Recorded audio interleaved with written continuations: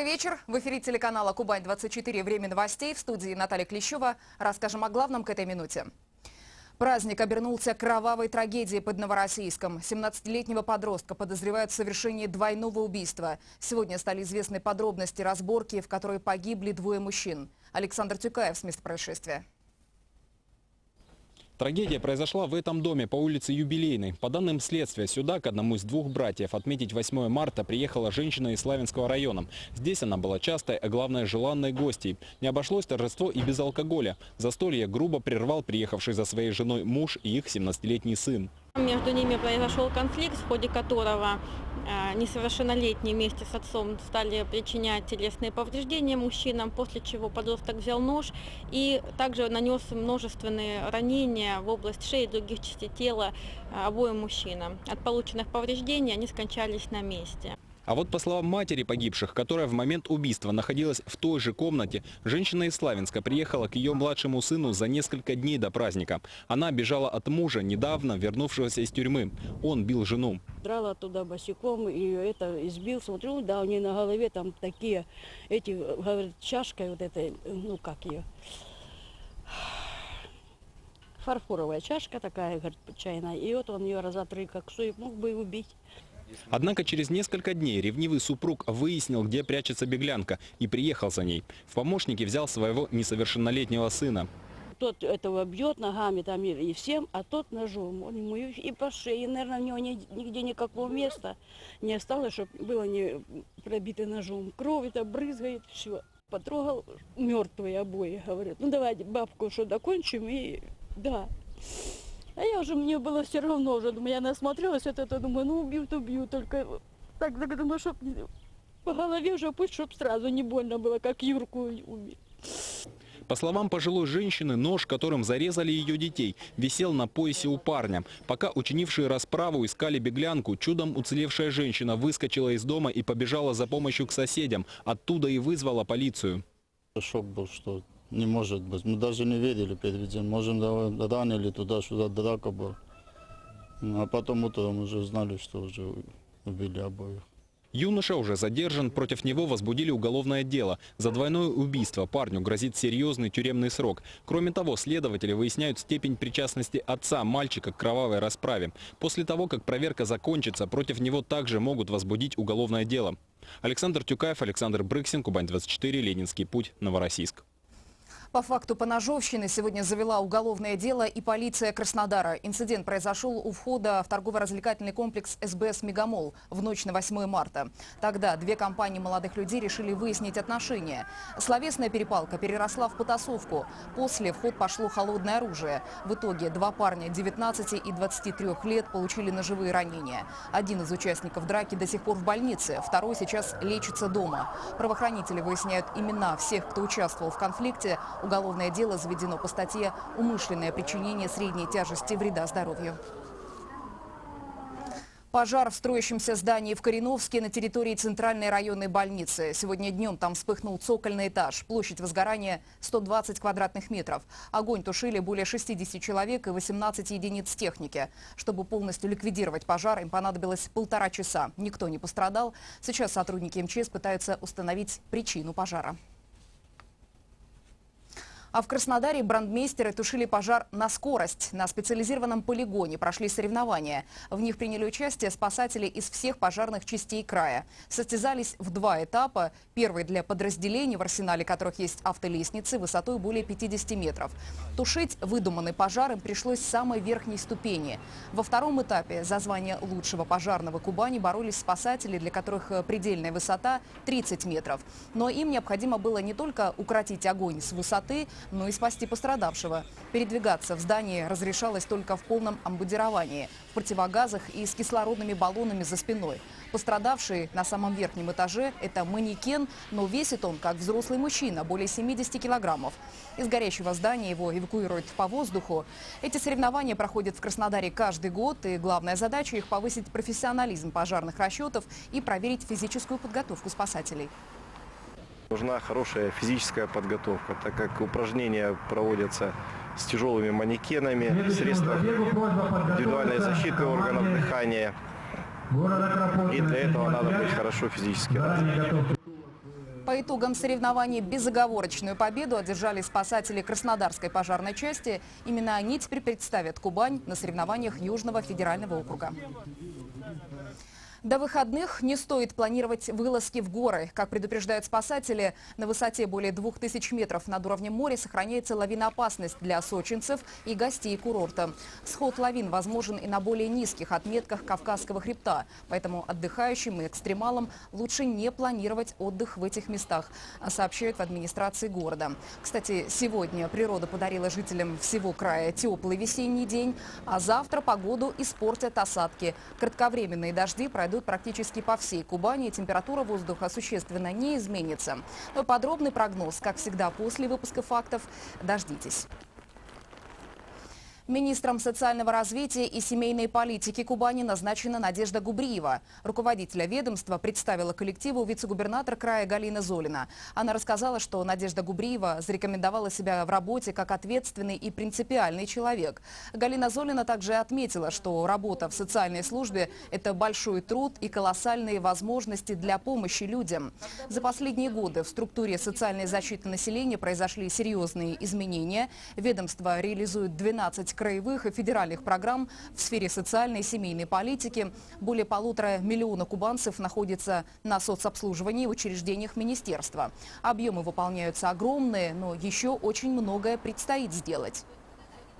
Работаем мы не просто с населением, работаем с каждым непосредственно человеком, с каждой его проблемой. И рассматривается не просто общие глобальные проблемы, да, они должны быть, но работая с каждым человеком и принося ему пользу, вот из этих кирпичей складывается тот объем работы, который должен принести общую пользу. Надежда Губриева окончила Пятигорскую фармацевтическую академию, после чего там же преподавала на кафедре экспериментальной медицины. Карьеру на Кубани она начала провизором в аптечной сети. В 2000 году Надежда Губриева возглавила краевое аптечное управление, а в 2012 заняла должность первого заместителя главы краевого Минздрава. Возврата к государственному регулированию цен не будет. Об этом сегодня заявил премьер России Дмитрий Медведев на совещании по взаимодействию торговых сетей с сельхозпроизводителями.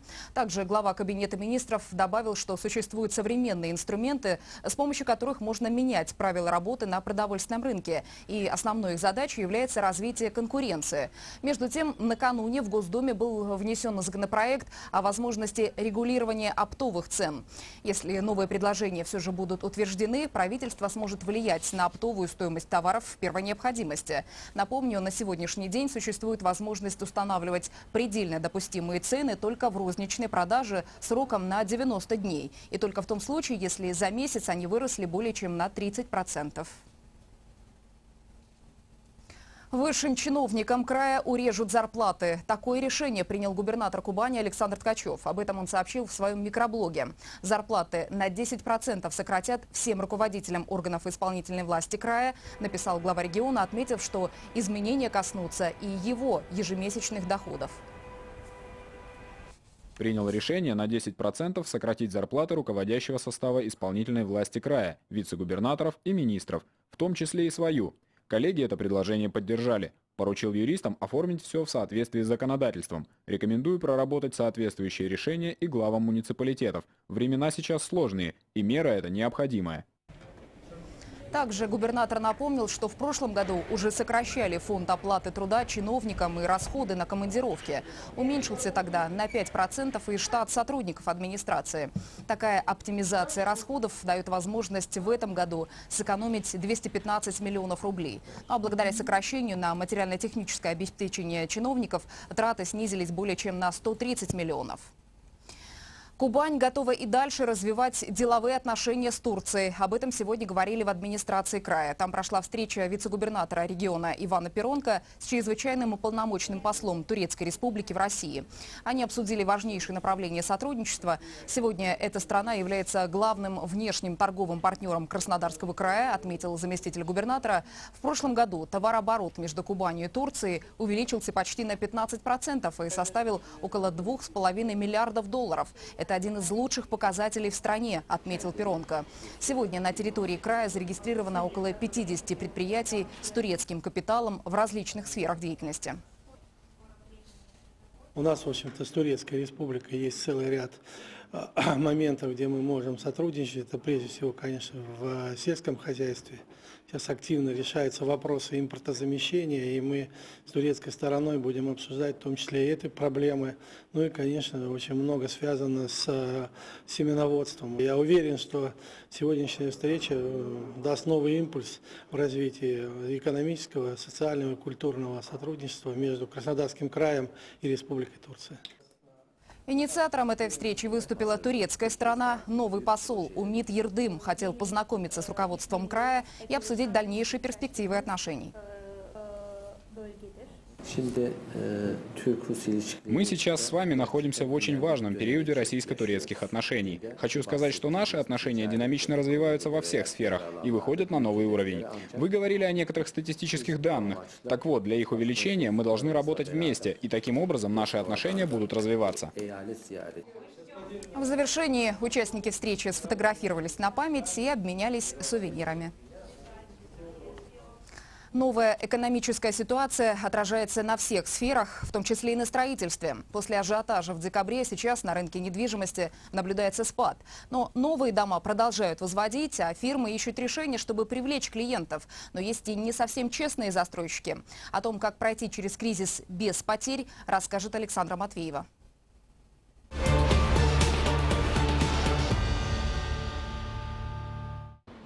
Весной в этот дом должны были въехать счастливые новоселы. Однако теперь на год задержатся строители. Владельцы квартир в доме получили от застройщика «Кубаньград Инвестрой» уведомление об изменениях в проекте. Людям предложили на год продлить договоры. Устроило это не всех. Уроженец Невиномыска Максим учится в Краснодаре. Однушку здесь ему купили родители. В апреле планировал въехать в собственную квартиру. Задержка на год – это еще 12 месяцев э, платить за съемное жилье. Как все это будет, не знаю. Придется, наверное, искать подработку какую-то.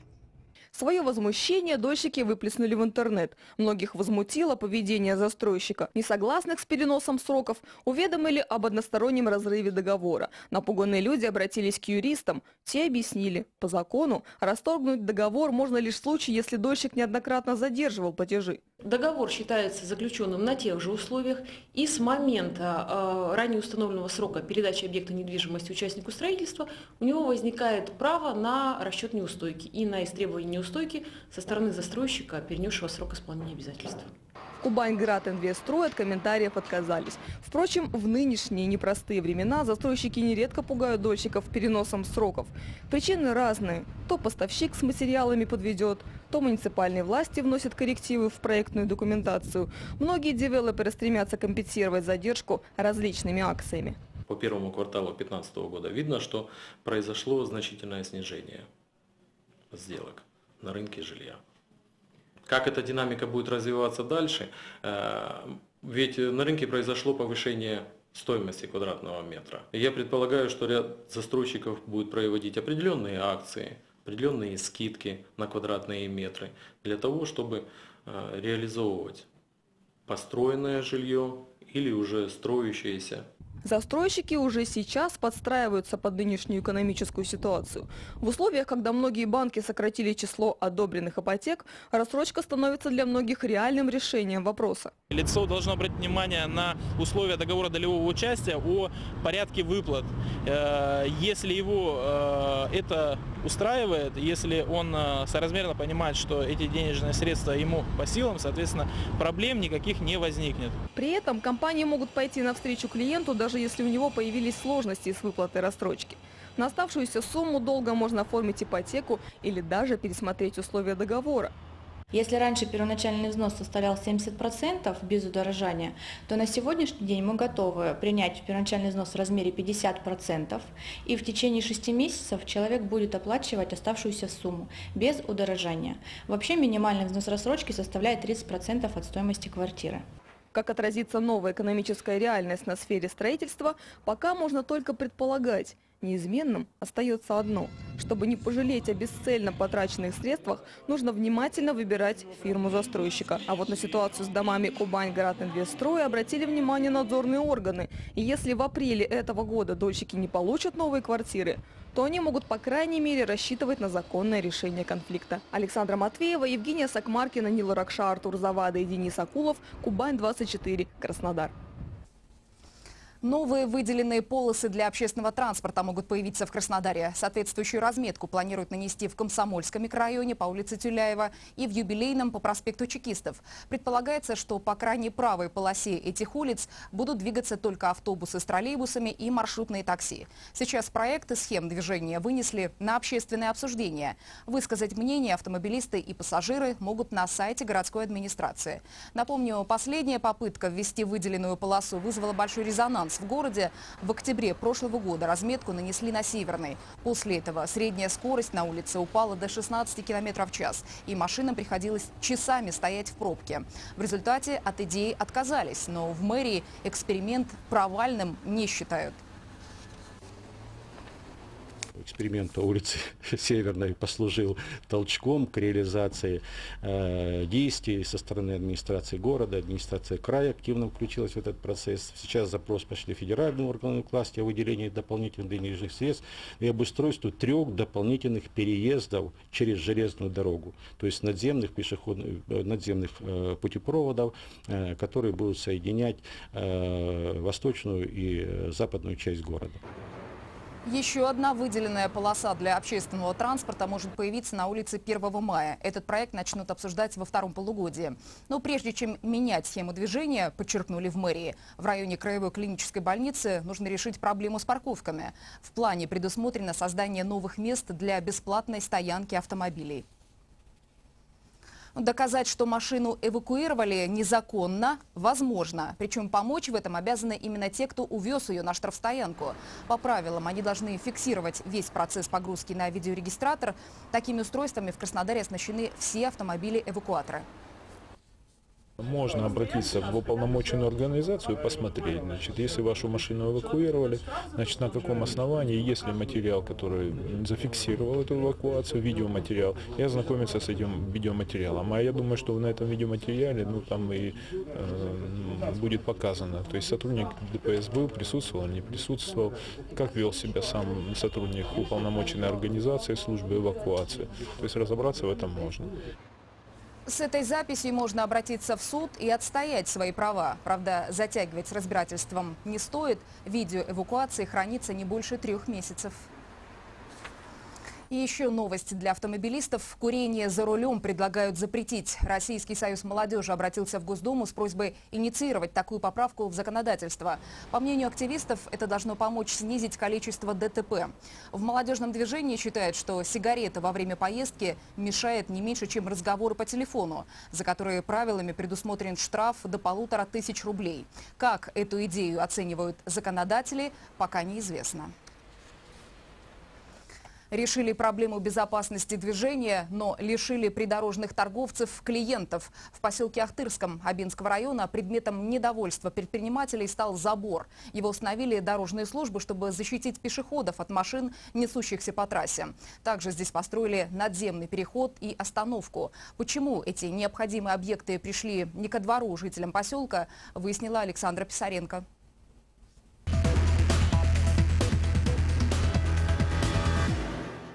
Вы видели, хоть одна машина сюда заехала, все проезжают мимо.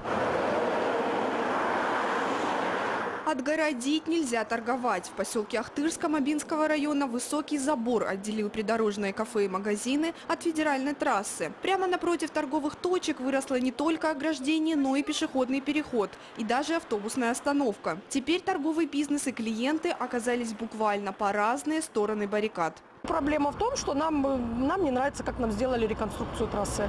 Нам не сделали подъездных путей, э, парковок, знаки все вот у нас стоят, там остановка запрещена. К нам не подъезжают клиенты, которые у нас тут 10 лет, на протяжении 10 лет питались. И почему о наших людях, почему об инвалидах не подумали?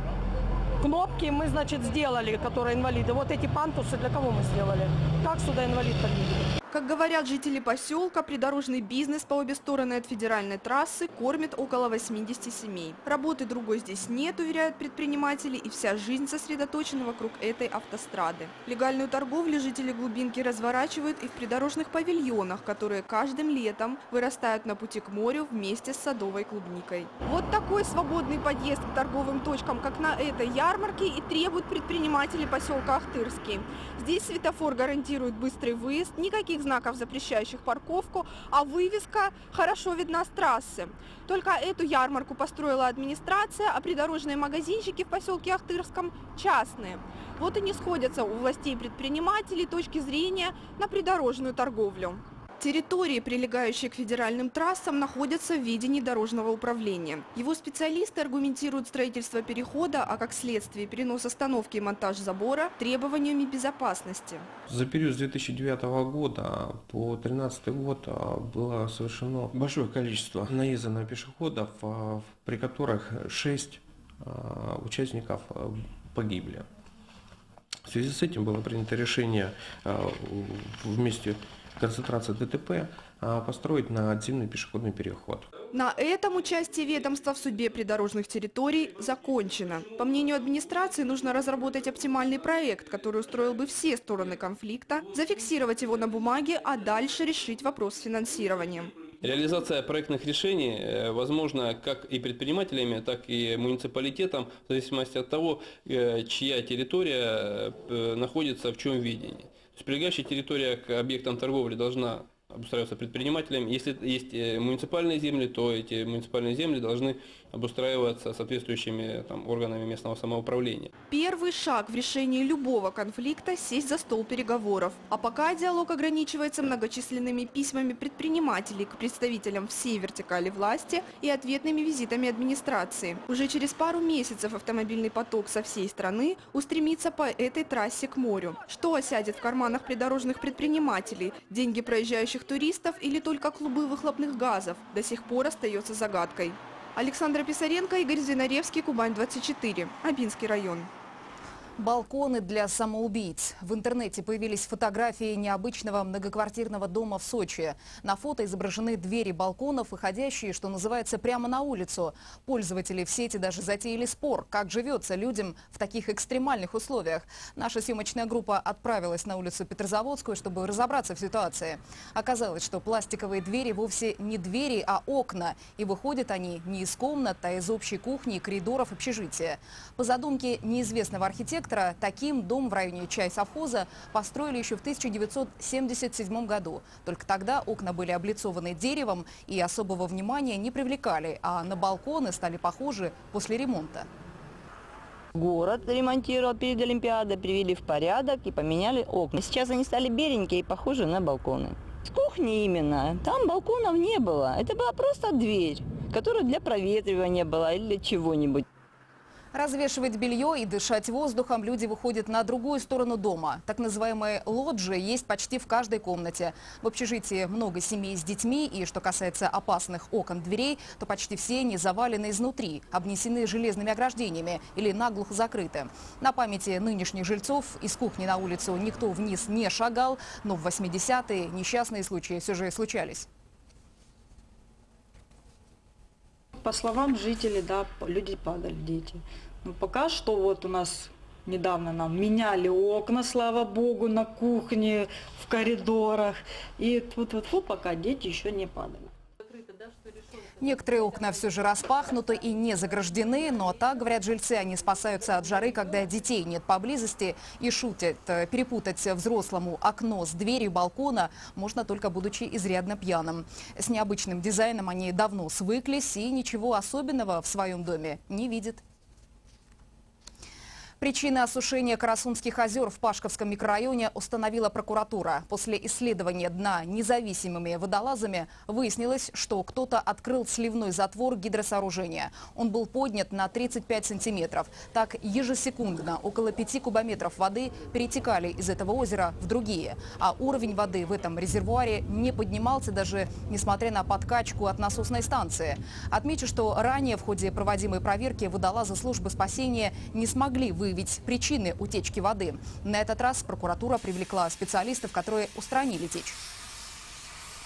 Путем э, осуществленных работ удалось добиться того, что затворный механизм теперь находится э, в должном уровне, то есть в закрытом уровне. Перетечка воды между озерами в настоящее время сейчас отсутствует. Насосная станция работает в штатном режиме, уровень воды э, повышается с каждым днем.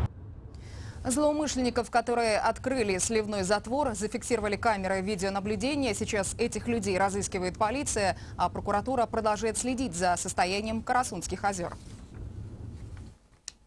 Книги, пластиковые бутылки, картон и пакеты. Такая гора мусора появилась в центре Анапы. Таким образом, школьники и студенты решили привлечь внимание жителей города к проблемам экологии и сохранению зеленых насаждений.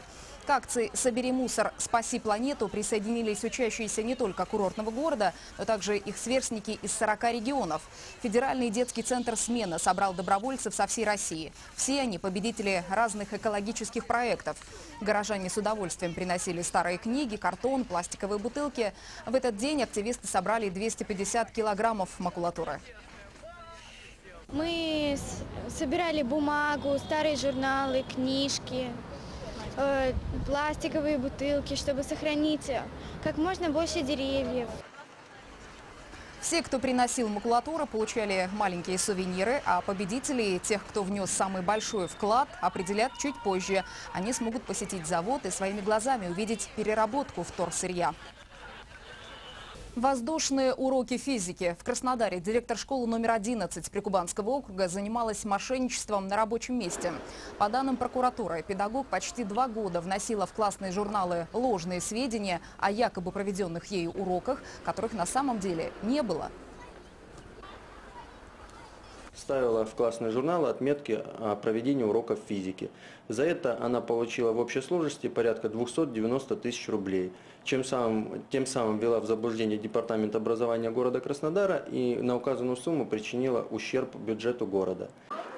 Против директора школы возбуждено уголовное дело. Молодая женщина может угодить за решетку на 6 лет. Ежедневно они спасают сотни жизней, избавляя регион от наркотиков. Только за прошлый год сотрудники госнаркоконтроля изъяли почти 700 килограммов запрещенных веществ. Сегодня специалисты этого ведомства отмечают профессиональный праздник. Наша съемочная группа съездила к весьма необычному сотруднику немецкой овчарки по имени Рэй. Андрей Секретарев расскажет, как служит пес и что ждет его на пенсии.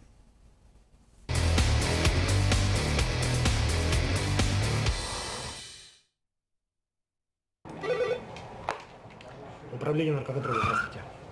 Ежедневно на телефон доверия наркоконтроля поступают десятки звонков. Часть из них ложные, а некоторые вызовы помогают найти целые группировки наркоторговцев. Последние иногда проявляют недюжую смекалку и прячут запрещенные вещества там, где обычный человек их никогда бы не нашел. И тут на помощь приходят лучшие друзья человека – собаки. Были закатаны такие бочки пластиковые, как бы и закопанные до достаточную глубину земли, ну, в общем, с поверхности. Его так визуально э, было очень сложно найти. Ну, собака с своим носом, как говорится, чуткостью, тоже также поведением показала нам. И, соответственно, с оперативниками это вещество было изъято оттуда. У Евгения в напарниках немецкая овчарка Рэй. Он-то и нашел те бочки. А еще охранял границы Кубани перед Олимпийскими играми в Сочи. Благодаря этому псу удалось найти крупную партию наркотиков, которые преступники хотели провести в регион. С наркоторговцами Рэй борется уже 7 лет и все это время живет по строгому расписанию. Ранний подъем и ежедневные изнуряющие тренировки. Вперед! Вперед! Попасть на такую службу может далеко не каждая собака. Чаще всего в ряды наркополицейских берут спаниелей, лабрадоров и овчарок. Пес должен быть здоровым, с отменным нюхом и устойчивой психикой. То есть не бояться крика, выстрелов и взрывов. И только те животные, которые проходят жесткий кастинг, могут приступить тренировкам. Прохождение полосы препятствий – дело, конечно, полезное, но основная задача кинолога – помочь собаке запомнить запах наркотиков. У меня в руках банка с веществом, которое имитирует героин. И сейчас мы проверим, сможет ли Рей найти запрещенное вещество. Его я спрячу в автобус. Саму банку за дверьми не видно, поэтому псу придется полагаться только на свой нюх. По команде Евгения Рэй приступает к поиску. Он тщательно обнюхивает каждую машину и буквально через минуту добирается до автобуса с героином. Покажи, покажи мне, покажи. Хорошо.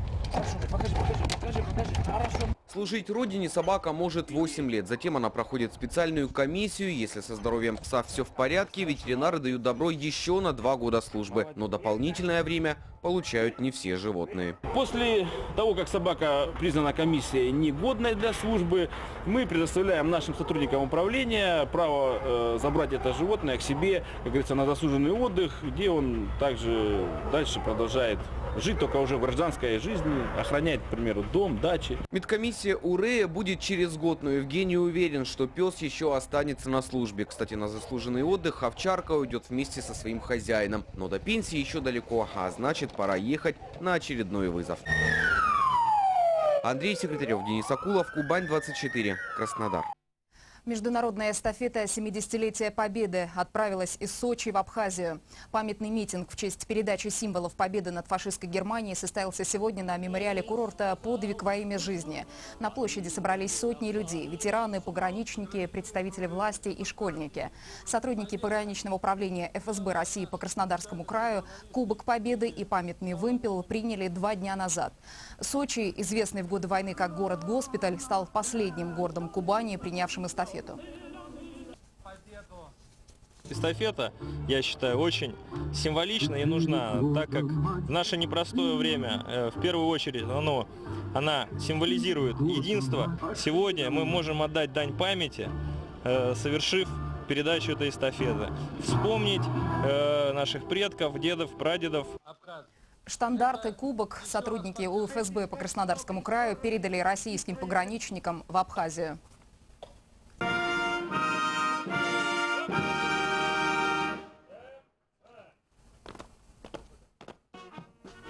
Всего же эстафета 70-летия Победы преодолеет свыше 60 тысяч километров.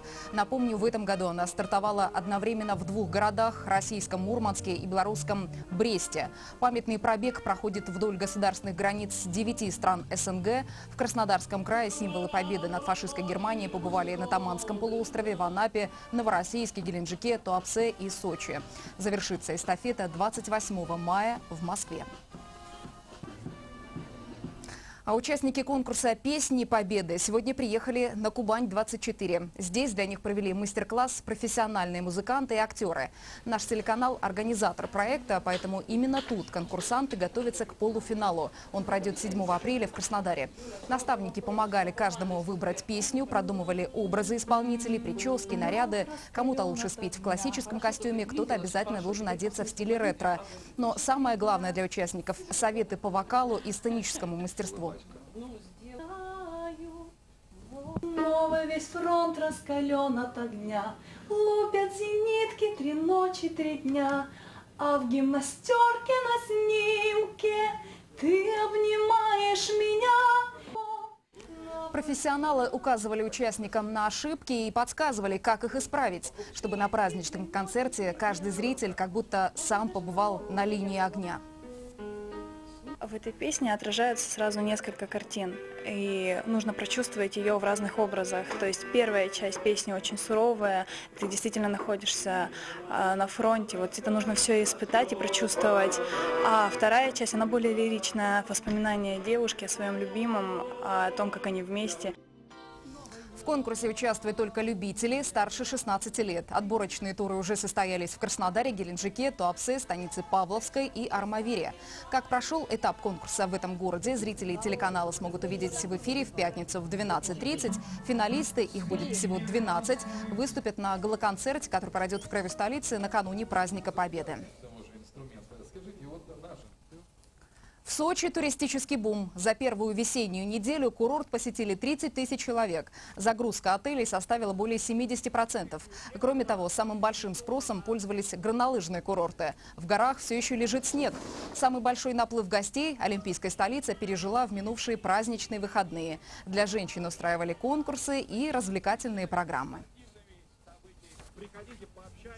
Что такое селфи, люстрация, стагнация и с чем все это едят? Яндекс выяснил, какие слова были непонятны краснодарцам в прошлом году. Первое место занял как раз автопортрет на фотокамеру, иначе говоря, селфи. Интересовались также популярной аббревиатурой ИМХО, которая часто заменяет выражение «по моему скромному мнению». В целом 95% всех запросов связаны с повседневной жизнью, учебой и развлечениями.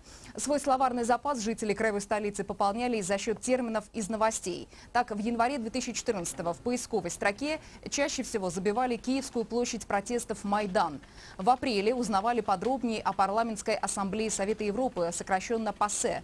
В августе черпали из всемирной сети информацию о страховом номере индивидуального лицевого счета, известном как СНИЛС. А декабрь стал месяцем экономических открытий. Краснодарцев интересовало снижение курса национальной валюты, то есть девальвация, а также так называемое оздоровление финансовых учреждений, санация банков поболеть только с документов. Предъявлять паспорт теперь обяжут всех спортивных болельщиков. Кабинет министров России поддержал данный законопроект. Авторы инициативы считают, что такая мера позволит дисциплинировать болельщиков и избежать нарушения правопорядка на стадионах и в залах. Поправки вступят в силу через полгода после официального опубликования. Это время нужно для создания системы, с помощью которой будут идентифицировать личности тех, кто покупает билеты на спортивные соревнования. Но пока без паспорта болельщиков пускали на соревнования по керлингу. Жаркая борьба разыгралась на Олимпийском льду. В Сочи команды керлингистов спорят за право представлять Россию на чемпионате мира. На арене «Ледяной куб» проходят финальные встречи Суперкубка Double Mixed 2015. Отборочные соревнования на финальный матч прошли среди четырех команд. Сильнейшими оказались представители сборной России. Пары Дрон Моисеева из Санкт-Петербурга и команда Краснодарского края Кутузов-Жаркова Абсолютно равные шансы э, в, э, в первичном э, соревновании, вот, которое два дня длится, команды выиграли друг у друга по одному разу и на, и на предварительной подготовке. Команды очень хорошо подготовлены и решат мелочи.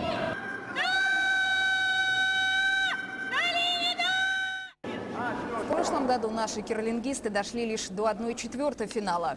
Но на домашнем чемпионате этой весной обе команды, вышедшие в финал по итогам отборочного тура, настроены только на победу. Напомню, чемпионат мира в дабл-миксте по кёрлингу стартует в Сочи уже на следующей неделе. И еще о спорте далее расскажет Мария Фалькова. Будет также прогноз погоды на завтра. Мы увидимся в 21.30. Пусть все у вас будет хорошо.